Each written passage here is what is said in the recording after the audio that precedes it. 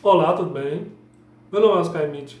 Um filme que estreou em 2022 é um filme de comédia, drama e romance, amor inesperado. Buscando descansar. Buscando descansar da cidade de Nova York é colocar uma certa distância entre ela e seu ex-marido. Tara Kedal aluga uma casa de verão em Paralabro, Montana, onde um belo xerife, Bonner Taylor, é seu vizinho.